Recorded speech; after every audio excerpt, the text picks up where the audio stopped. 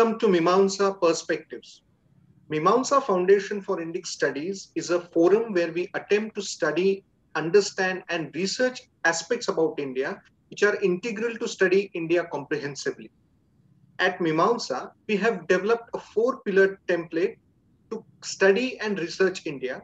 And the four pillars are Vijnana, Darshana, Itihasa, and Sambhasha, which individually study aspects related to India's scientific and knowledge systems, India's spiritual, philosophical, and religious traditions, India's history, and India's socio political and economic realities. And we do that through well researched articles, interviews, podcasts, and interaction with eminent personalities. In the same endeavor today, we have with us a very special guest. We have with us Dr. G. G. Gangadharan. He is currently director of Ramaiah Indic Specialty Ayurveda uh, Restoration Hospital. He has been a champion of Ayurveda for past three and a half decades and has authored numerous research papers, articles, primary papers, and has also authored six books. He has a master's degree from McGill University in Montreal, Canada, and he is also the recipient of prestigious Ashoka Innovators for Public Fellowship. He has also received his PhD from Tilak Maharashtra Vidyapeeth, which is in Pune. An occasion for today's discussion is his recent book, uh, which is Ayurveda, titled Ayurveda, True Way to Restore Your Health and Happiness, which is this. Uh, it is a book which sort of initiates a, a, an individual to the world of Ayurveda. So if you are a person who is completely unaware of what Ayurveda really is, so by the time you are on the last page of this book, you would probably be aware of what Ayurveda, what Ayurvedic philosophy is, what is the way of Ayurvedic treatment, and the reason why it continues to endure even after 5,000 years and more. It is a treasure for those who want to really understand this book. And we are thankful to uh, Dr. Gangadharan to actually write this book. Uh, so thank you, Doctor, for uh, writing this wonderful book. Congratulations for it. Uh, and thank you for joining us today also. Thank you. It's my pleasure, it's my pleasure to be with you. So uh, I want to begin with uh, the first question. And in your book, you sort of begin with that this book is not really a defense of Ayurveda, but rather it's a champion for, for a science which has endured for almost 5,000 years. It doesn't require defense, but it actually, uh, it requires champions. But I want to sort of begin from there. While I agree with the fact that uh, it doesn't need to be defended in, in that particular context, but we are also living in time when Ayurveda is also seen on one hand as a pseudoscience, to other hand as a alternative medicine or alternative treatment, which something which you do not uh, agree with you also in you say that in your book. It is also a time when people are too uh, en enamored by the uh, you know the developments in the modern science. And that sort of becomes a template of what science really is.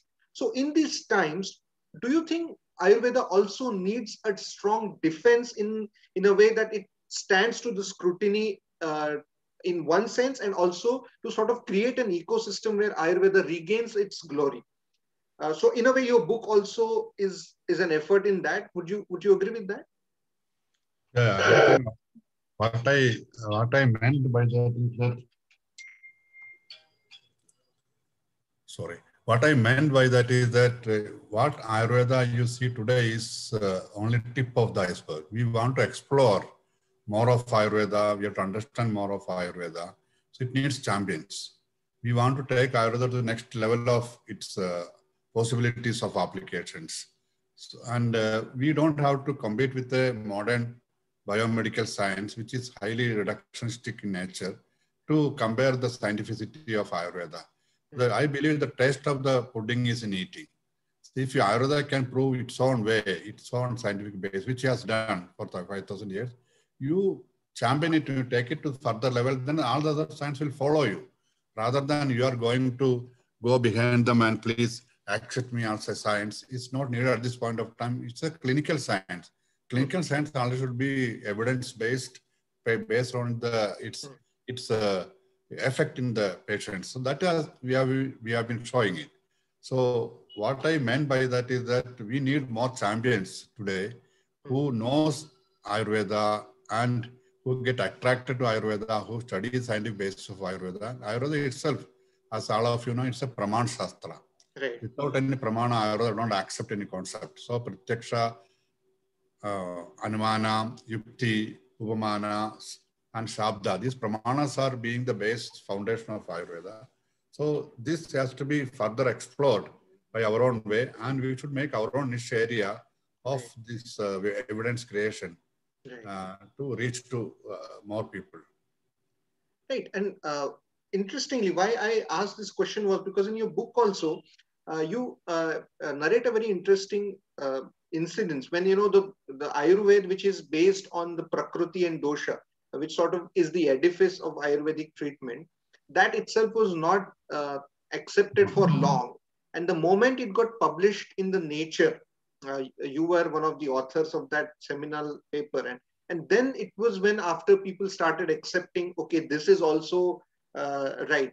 So uh, if if may not defense in that conventional sense but you probably require um, publishing the ayurvedic vaidyas actually coming out publishing more and sort of creating that uh, system where it also gets this uh, the same say which it deserves So that's what I thought. I thought that's what I mean. This whole Right. concept of Ayurveda biology Mhm. is based on Ayurvedic principles. Right. Can be translated to the modern scientific language Mhm. or can be equated. That this nature paper is one of that examples that how it is possible to explain Ayurveda's thing in modern modern biomedical terms, which they understand.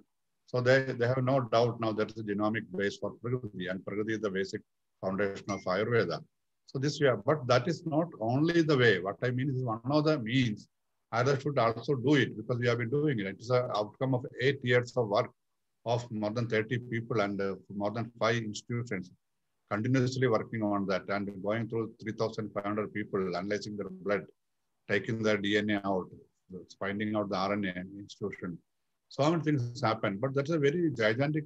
So how long you will do that is also needed so that that Right. modern science will open their eyes and see there is science in this. Right. But if you want to do a basic work, again, you have to go to the roots of Ayurveda. You have to go to the Panchamahabhuta principles, Tridoshi principles, all those things. You have to go to the Darshanik foundations. Then from the Darshanik foundation, only Ayurveda or any Indian science uh, emerges. So I don't deny the need of this correlation, bridging, integration. That is my area of work also. right. But what I mean is that is not the only thing one should be doing. That is only one aspect, just to make sure that Ayurveda is get into the bandwagon of modern science. right, right. But that alone, that that may attract more people to get into Ayurveda. Western science may get interested. Right. That is a to me it is a lateral growth. My uh, my perpendicular growth, the straight growth is when you go to the foundations of Ayurveda. Correct. Because that only can take Ayurveda to the next level. So I am somewhere in my book, I am telling about three levels of Ayurveda knowledge. Hmm. One is the Tattva, second one is the Shastra, third one is the Vyavahara. Hmm. Vyavahara is what you see in Ayurveda today. Vyavahara is the uh, practice, practical uh, application of Ayurveda in certain given circumstances, treating some people and all that. Shastra is the science behind that. right. Tattva is the original roots of Ayurveda. Tattva is known only to few. The founders of Ayurveda, like Sus- Susruta, Charaka, Vagbhata, they were the Tattvajnas. They know the Tattvam of Ayurveda. Hmm. But people like me, to some level, maybe Shastrajnas. We know the Shastra behind that.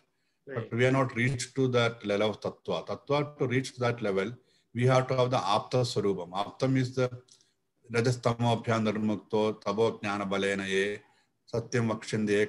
That kind of a mindset, who are completely devoid of tamas and rajas in our, our mind, where the truth reflects and truth comes and appears. That is a that is the level in which Ayurveda actually originally came into existence. right, right. So I, I what I am telling here is that it's a different paradigm of science which people may not accept today. But it's lateral thing which I correlated the Prakriti with the genome Mhm. or the the the microbiome and the uh, cost of Prakriti. These are all things people will understand from the Vyavahara level. So if you have this multitude of action, then Ayurveda will get into the real scientific stream.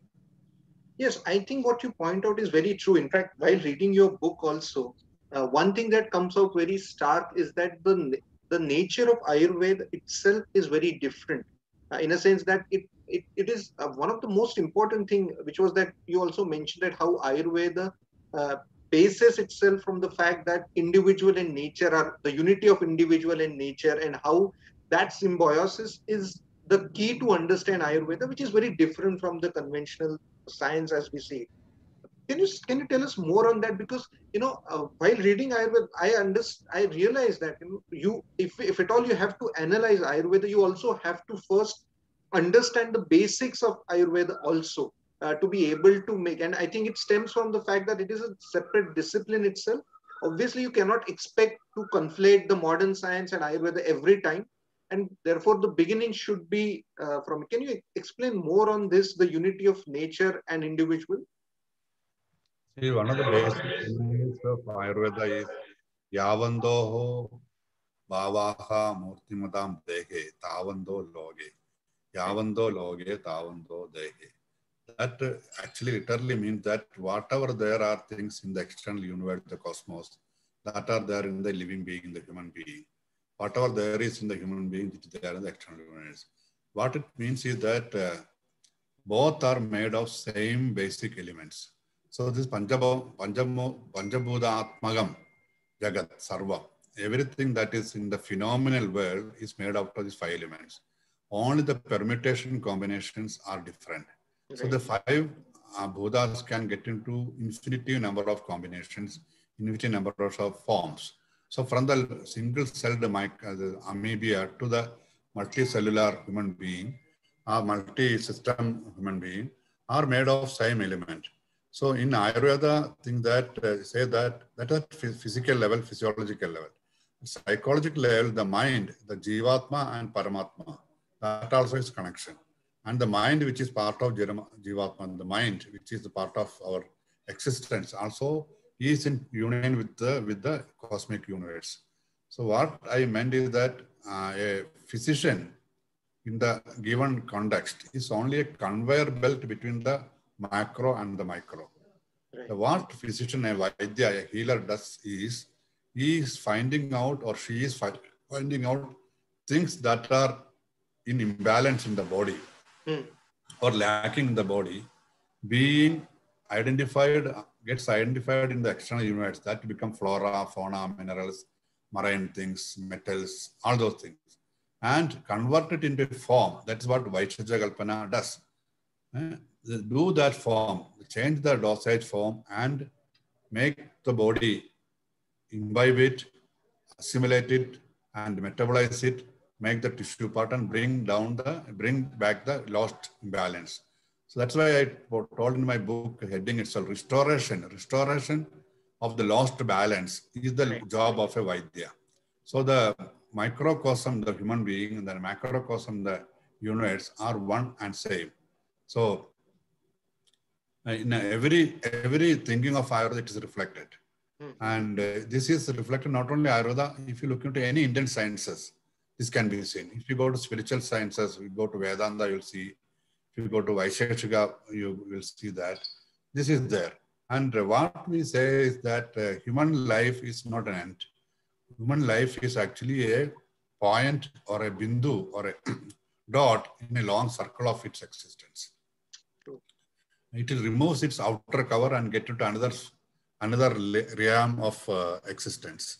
So in that short span of 100 years, which is what, is expected of human life to exist, whatever changes that happen in the body, which deteriorates its uh, balance, can be corrected from the things from outside. So this is the beauty of Ayurveda. It looks, uh, sees everything in, in a single uh, thing. So it is actually a, a kind of uh, unified theory, which right. people, scientists are trying to uh, understand. Unified theory is, is applied, applied in Ayurveda. Yeah, and I think that's why it is rightfully said that it is not just any medical pathy, but it is rather a lifestyle. I mean, you should not wait for a, a disease to come to you. It's it's a lifestyle that you've been uh, imbibed. And I think therefore yoga and Ayurveda are also very intrinsically linked uh, in a sense?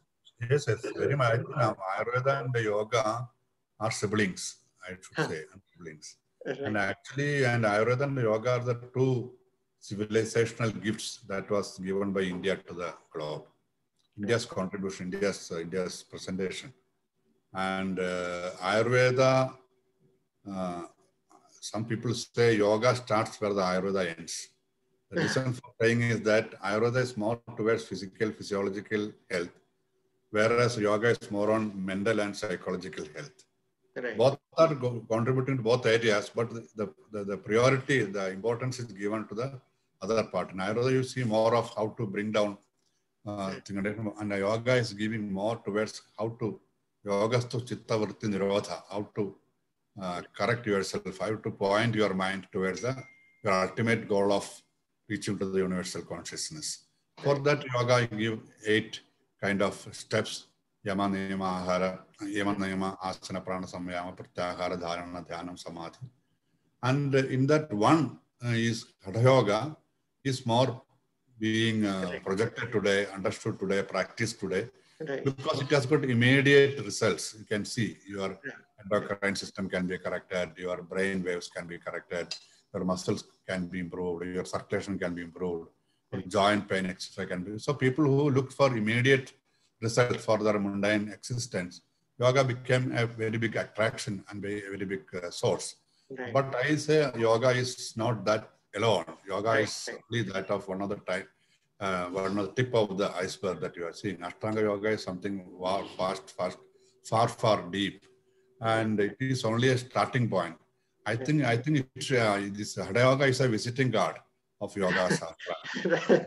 That's uh, interesting, actually. Yeah, and uh, what you know, it's very true that you know we generally, when we mean yoga, we only concentrate on hatha yoga, like you pointed out, because we it's a result-based uh, appreciation.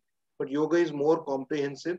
Uh, that's true. And coming coming back to um, Ayurveda, and I think uh, right now we are in the pandemic phase, uh, and um, I think one of the things that came out of pandemic was in one way ayurveda also uh, the reach of ayurveda also probably increased uh, during the pandemic times in terms of immunity boosters. Various uh, uh, practitioners of ayurveda which i also know personally have been cataloging a lot of cases that were treated very successfully and have got very good results. I mean of course ayurveda was there before that. I mean every individual household uh, probably has chavan prasha and all the churnas, which is everybody is aware, uh, sort of very aware of that. But pandemic actually, two things came out of during the pandemic, and which is why, uh, which is what I want to ask you. At one point, there was a very systematic cataloging, identifying the results, and then presenting it. There was also a lot of uh, projection of Ayurveda as an infallible science, as projecting that everything, and that also created a confusion what is your experience about treating corona uh, you know uh, treating corona patients and how ayurveda has actually helped during these times what is your experience on that I think I, this is. Uh, I don't. I, I think Ayurveda has got tremendous potential uh, to treat this kind of conditions. But Ayurveda has got also limitation because lack of institutional support system for Ayurveda to do this kind of thing. We cannot expect an individual Vaidya to take all the risky cases and treat. And there are no sound institution with all support needed. And uh, Ayurveda is more, I have seen many, I have myself have treated cases, mild, moderate, with success, very great success. But uh, when the when the acute condition comes where there is oxygen dipping down, unless you have got a proved kind of, there are very few people in areas have shown that there are some paper, but it is not properly codified and brought into the mainstream. Mhm. So that is done. And I, I told you now, Ayurveda is a sleeping giant. So we are not known what is the capacity of Ayurveda. We are trying to assess Ayurveda through Right. few practitioners. That's not fair. Right. We are not doing it. is not fair for Ayurveda to understand and gauge and uh, certify Ayurveda through few practitioners like me or like A or like B. or C. Mm. We are only uh, uh, projection of certain parts of fire. There are yet to be more to be uh, explored and found. It is there in many different parts. It is all anecdotal, anecdotal now, but it's not properly guided. For Right. example, my own, uh, there is paper in thing where the oxygen from 47 percent of saturation brought into systematic to 87, 85, uh, 94, and completely withdrawn from the oxygen support system within a couple of days. So there are paper published uh, recently. So how many people could do and how we could do if there is a concerted effort where there is nothing else to be done, government should have come forward and taken an integrated approach and tried Ayurveda and tried the immediate acute system and the emergency uh, support system is very important, which is highly mechanistic, highly mechanistic, highly technology based. Mm-hmm. That's not aligned to Ayurveda, need not be aligned to Ayurveda. We can also adopt that and use Ayurvedic medicine wherever needed. And all these Rasashastra medicines, which are highly mm-hmm. particular medicines, which mm. people have done very little studies on that. All mm. its action on at nanoparticle level, how it is working. Mm. There are Ashtakari Dravyas. There are Suchyabharana Rasam, a rasam which is made out of what? Pricking with a needle to the skin, it works. Mm. But now, how many of us know about it? Very few people know about it. So right. that also is Ayurveda.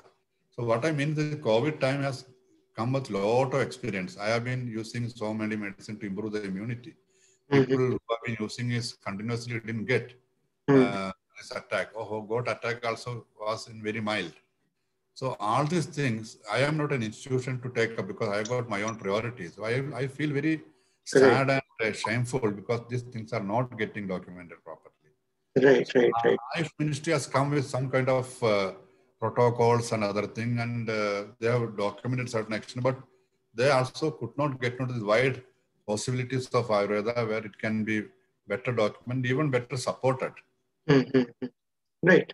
For example, I, I have been in the uh, co-chairman of the committee set up by the Ayush Ministry for taking up the results of COVID. But uh, three, four formulation has gone.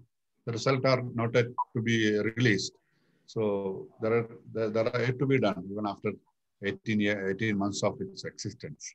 Oh. So this kind of difficulties are there yeah i think that that's what you point out is very real and uh, sort of having a centralized effort to collate all those things and then give that institutional support uh, is very much important which a lot of modern sciences have it. In fact um, uh, i think slowly slowly there is a recognition and ayush ministry itself is a indication of that that you know to sort of centralize some agency uh, to look into it but I want to come to an allied problem. Uh, not really a problem, but a sort of an issue which has been uh, there for a while. Uh, even the IMA has talked about it. The issue of surgery within the Ayurvedic uh, scheme of things. Uh, do what, what is the exact nature of it? is Ayurveda fully equipped with regards to surgery? what is the what is the state of surgery with regards to the entire Ayurvedic system today? Because that has been a that are, that came also in the controversy recently. Yeah, I'm aware, I'm aware of there is a lot of noises uh, on that, and uh, so if you see, there are two things you should notice. One thing is that the uh, the concern or the argument or the opposition is mainly from the clinicians, right. not from the scientists alone, who are working in the area of service. So there is a kind of threat mm-hmm. to existing uh, pattern of uh, treating surgical because it's a monopoly of uh, some one group of mm-hmm. practitioners. So it has been given to Ayurveda in a very limited way by a reason mm-hmm. is being questioned. Let me stop that one point. Second point is that Ayurvedic Ayurveda is the fa- Sushruta is the father of surgery. Mm-hmm. Surgery, the concept of surgery came to exist into the globe through surgery And it was highly, at that point of time, it was highly, uh, highly sophisticated, and there are methods of operating and methods of doing hernia surgery, methods of removing a, um, a dead fetus from the uterus live, I mean, from a live woman. All those things are explained very elaborate, and it has been practiced also and uh, how they used to be and eye operations are very uh, and there are pictorial demonstration of surgical uh, operation being done on eye cataract operation. And Sushruta is known for that. So so many instances are there. But some point of time that branch didn't grow at all in Ayurveda. Shalya branch didn't grow. And it didn't catch up with the time. So when when you catch up with the if you don't catch up with the time new law, laws. So Ayurveda also didn't catch up, which stood where it was 5,000 years or 2,000 years back. Mm-hmm. So one, now the problem is we have got 7 lakh practitioners in India, Ayurvedic degree holders. Mhm. Many of them are uh, study per, that is studied three years on these branches of surgery and uh, ENT areas. So they need a little bit of hand holding so that they can become a very well equipped practice surgeons. Hmm. who can serve in the villages of India and other parts of India where there is a need of more surgeons. And there is no, no program by government of India or medical system to hmm. Mhm. give this kind of surgeon, which already have, and they can not only do surgery, they can contribute better because they have got the armory of good medicines, which can be hmm. used as pre-surgical and post-surgical conditions. So many times Ayurveda is not able to perform, they are not able to meet the surgical conditions. So that is why government of India, after so many uh, stages of discussion with experts and other things, came to this conclusion that let us give these 52 or 58 areas of non-complicated simple surgical area where these people will be allowed to practice provided they get a proper training for six months or one year additional to their existing training of three years which they are getting. Right. Because institutions today are very weak. Their infrastructure are very poor. Teaching faculties are not competent enough to take up. So they need more support. That will develop. That will be first stage of integrative medicine in India. Mhm. A good thing. There is nothing wrong in that. There is there is no need to fight because fighting is because it's like uh, you know you know in the street in the street there is unions. the, the first particular union is only supposed to do the uh, job of uh, head head loading workers. They can only in that area they only should do that work. Others should not come. Same is the case with the I am we are doing it. Why are you getting to our area of thing? Uh, this kind of, this is not a scientific uh, opposition. It's a political kind of opposition to that because they are also studying same thing. And I Mhm. gave you an example now recently into not recently 2014. Mhm. The great saint in Meerut, I forgot his name. Great saint. He's no more. He passed away one year back Mhm. he had a very uh, very enlarged and uh, inflamed prostate that has to be removed and he is allergic to all kind of allopathy he cannot touch any antibiotics Oh. so it was very difficult to do surgery on him so but he, without surgery he will not survive it was completely blocked then the, his uh, his uh, uh, shishyas one of them is a professor in Meerut Medical College and he's the head of uh, community medicine. And most of them and came together and uh, they wanted to do operation. They approached me and approached three or four Vaidyas. We developed a formulation which will work like antibiotic. Okay. And this was this, anti- this medicine was given pre and during and uh, post operation. No anti- antibiotics was given, and it is a published paper. I'm not telling stories. It's a Right. right. published paper which can be received from PubMed publication. And he was under, I underwent this surgery very successfully. He was as good as anyone else after surgery, after prostate, and no antibiotic given, only our Ayurvedic preparation, which was formulated by a few of us. There are three, four Vaidyas involved. And we gave this to him uh, by the doctors allowed because he has no other way. He's completely allergic to. So there was a reason. Ethically, Mhm. there is a reason for giving. Otherwise, it will be questioned why you gave.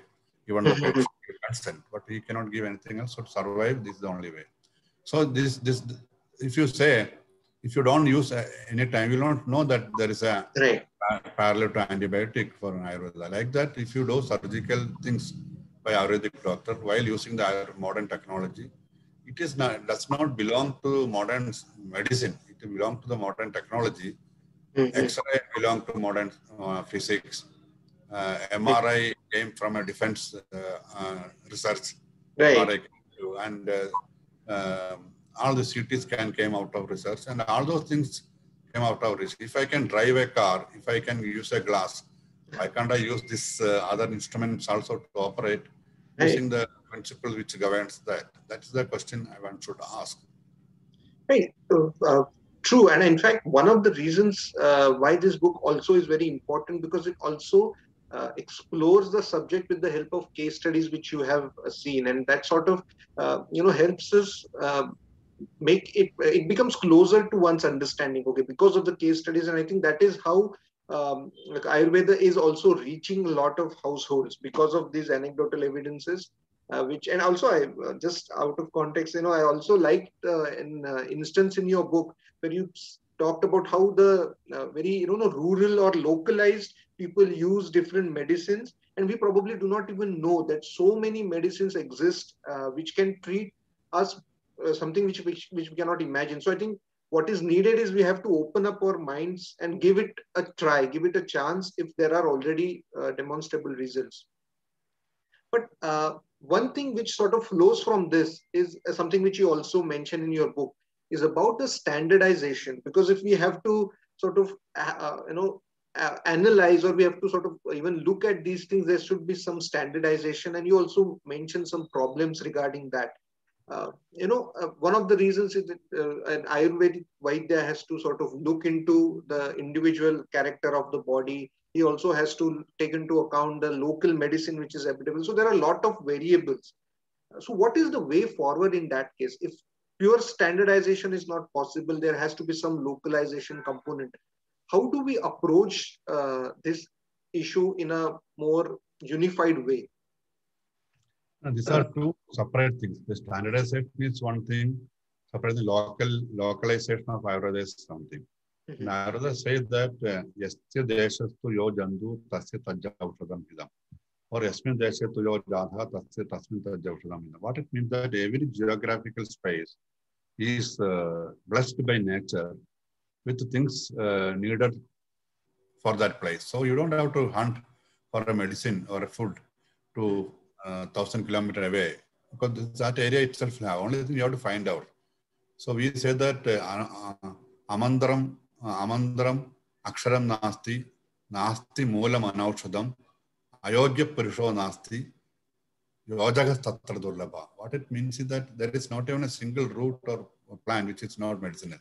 So we can use from local. That's why I gave you examples of local localization of uh, using local things and you have to use things according to the uh, condition of the person, prakriti of the person, voice of the person, is from where he is coming. What is so Dushan Deshambalamka. So it's a highly localized treatment we have to give.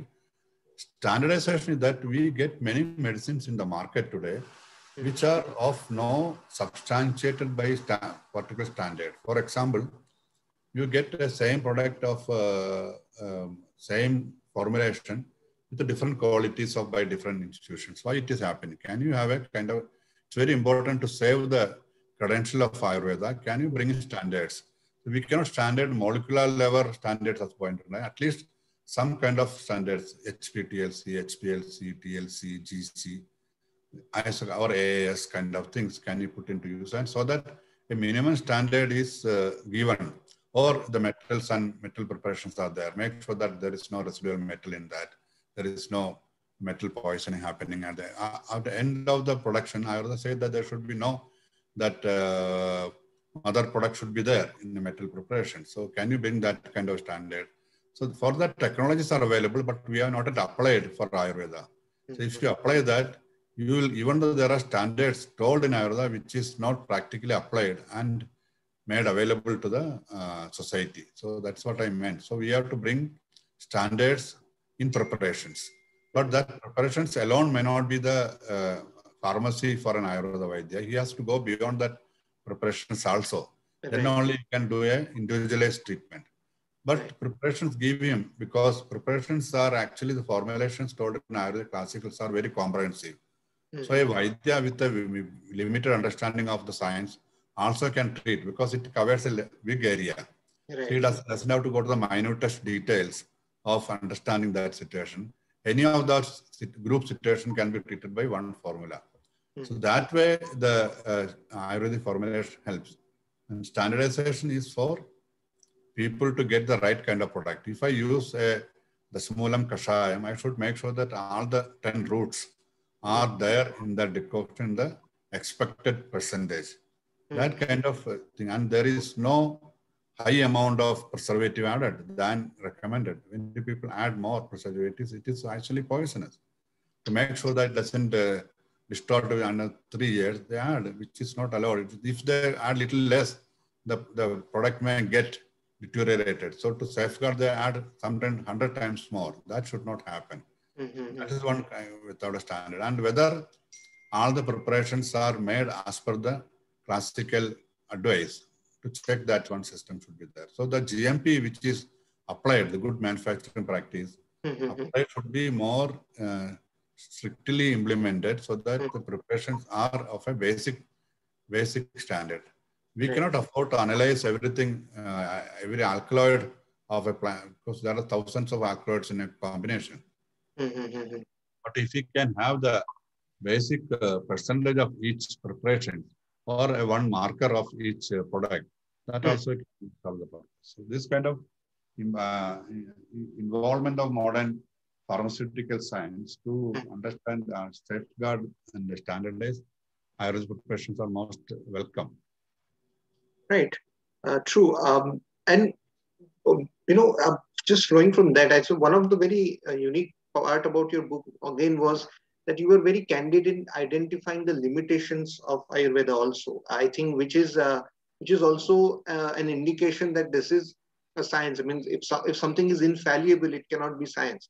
It's, it can only be faith. I mean, when there are limitations and when there is further research possible, that itself is a science. And you very also candidly say that there are times when the modern the allopathic uh, medicine and the or allopathic way of treatment and ayurvedic medicines can conjoin to give better results. Uh, i mean uh, have, have, you tested such kind of things? Uh, have you sort of are you actively using these uh, methods of conjoining these two techniques?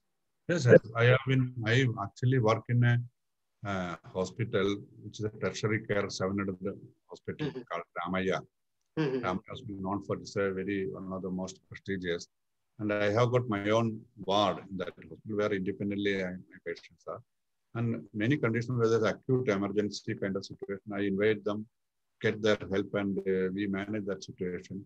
And uh, many of their conditions also come to me after post-stroke conditions, mm-hmm. paraplegia, uh, some of the gastrointestinal diseases, liver conditions. I treat together. Now, I am publishing a paper of treating a very, very dreadful uh, cancer. Uh, one case we have completely, uh, uh it is said to be irreversible, completely cured, and uh, the patient is living after five years, doing all his work.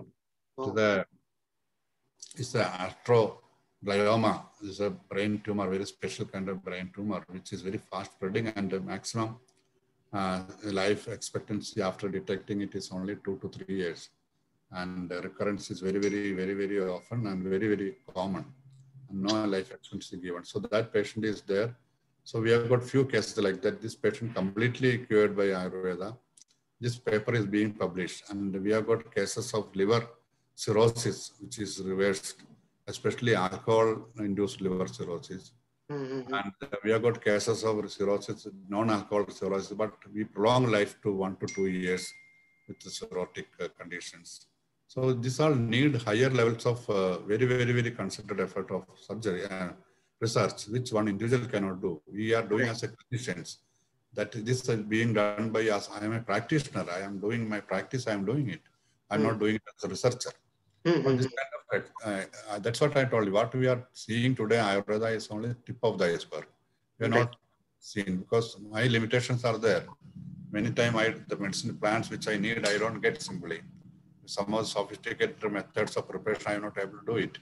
Mm-hmm. And, uh, many things are there in Ayurveda which has to be. And cancer is one area where Ayurveda can do a lot, especially as in the conditions of radiation and uh, radiotherapy and uh, right, right chemotherapy. And uh, we have got excellent things to as an adjuvant to do in that condition where we can improve the quality of life of people, improve their uh, all their sens- sensory and uh, motor functions, improve their digestion. All those things are possible. I have got a few cases, two cases I am publishing. One is the case is vascular necrosis. AVN is a very clear condition. It is a kind of degeneration and lack of blood supply to the head of the humerus of the thigh bone.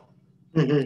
Uh, surgery is the only way. There you do complete hip replacement. That is the treatment because it cannot be treated. Mm-hmm. By we are completely cured and the patient becomes 100% functional. He's running with that feed. That is a big achievement. That paper is also getting published. So there are instances which are again anecdotal, but it is possible to do that. And I think integrative medicine is the future of science. Right. If you don't take both together, we have no future. The Ayurveda alone cannot do many things. Right. I, I, will I will bet that a bleeding case, I will not touch it. Mm-hmm. Take the best of the places, do whatever mechanical support you want, do the blood transfusion, do the uh, whatever coagulant you want to give, do the surgery, do the stitching, everything. That an Ayurveda practitioners can do if trained, but that is not our area of expertise. Why should we do it? Because there is an expertise available already. Right, right. So we can help in that. Or it's a the stroke condition, is a there is a bleeding. After the first four days, it's better managed by allopathy where the clotting is uh, being removed and the patient is made uh, to come back to its thing. Then we can do post-stroke, one month treatment We will improve the mobility of the patient, improve the hand movement, leg movement. Even we regenerate the brain's uh, circulation back. All those things are possible. So there is also integration possible. I believe if there is a friendly existence of modern science, medicine and Ayurveda can do, do a lot good to society and the people and the humanity and to science itself rather than working, working the silos and fighting each other. There's no need to fight at all because we are not warriors.